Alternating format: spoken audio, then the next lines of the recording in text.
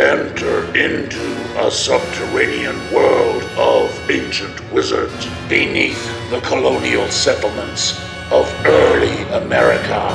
Encounter strange rites and curious artifacts in search of an unimaginable evil. Do you dare to risk your sanity? Nay, preconceptions of the universe and its laws.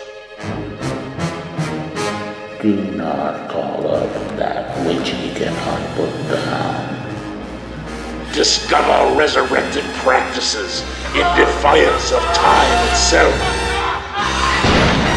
H.P. Lovecraft, The